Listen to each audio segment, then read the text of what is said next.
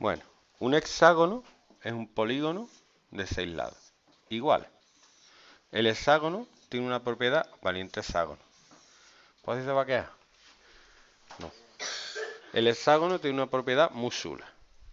Y es que si está bien dibujado, si os fijáis,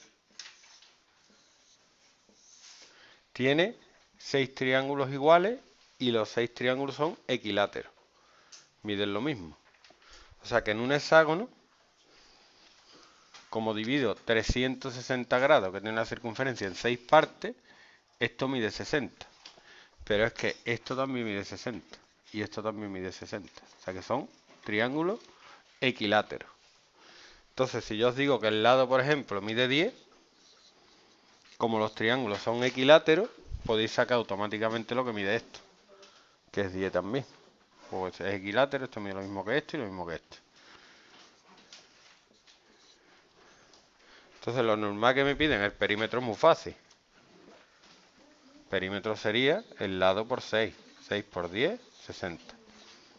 Pero si me piden el área, el área es el perímetro por el apotema partido 2. El perímetro lo tengo, pero me falta la apotema. La apotema es la línea que va del centro a la mitad del lado. ¿Vale? ¿Mm?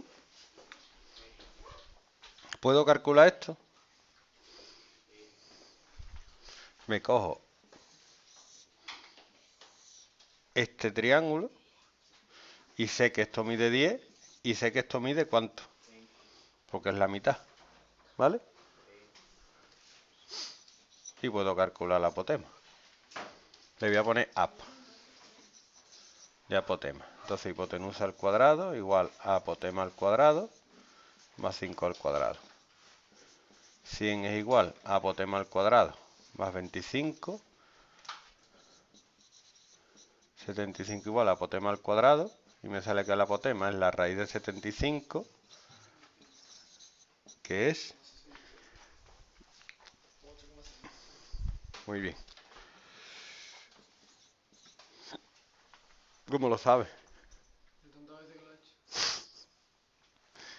Entonces el área sería perímetro 60 por apotema 8,66 partido 2.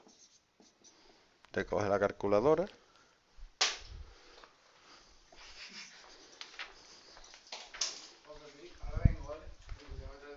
Muy bien.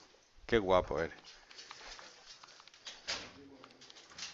Me da 259,8 metros o si son centímetros. Ojo que el área es en centímetros cuadrados, ¿vale? Y el perímetro en centímetros.